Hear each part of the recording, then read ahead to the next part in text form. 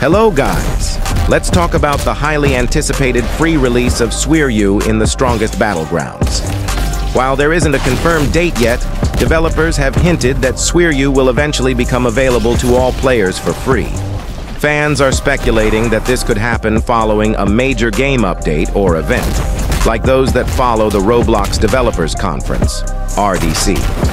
Currently, Suiryu is obtainable through Robux, but the developers often make popular characters free after an initial exclusive period. So, it's expected that Suiryu will be available for everyone in an upcoming patch.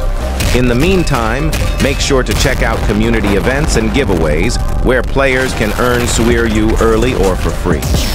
These events are often hosted by streamers or game content creators, so stay engaged with the community to catch these opportunities. It's also likely that Suiryu could be included in future special in-game promotions or events, possibly tied to new updates or the release of other characters like KJ. As new content rolls out, older premium characters like Suiryu often cycle out into free rotations. So, while there's no exact date for when Suiryu will be free, Keep an eye on updates, participate in events, and follow official channels for more details.